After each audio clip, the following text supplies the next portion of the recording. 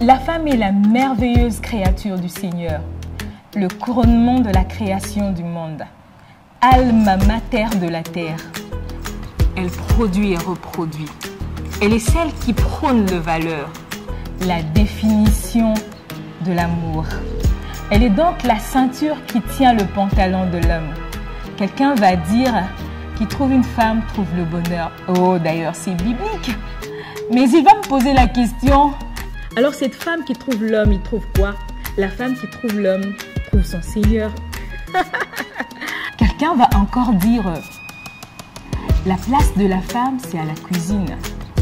Alors j'aimerais ici dire que la place de la femme est où elle est compétente. Suivez chaque semaine le Club de femmes heureuses sur PBB Studio officiel.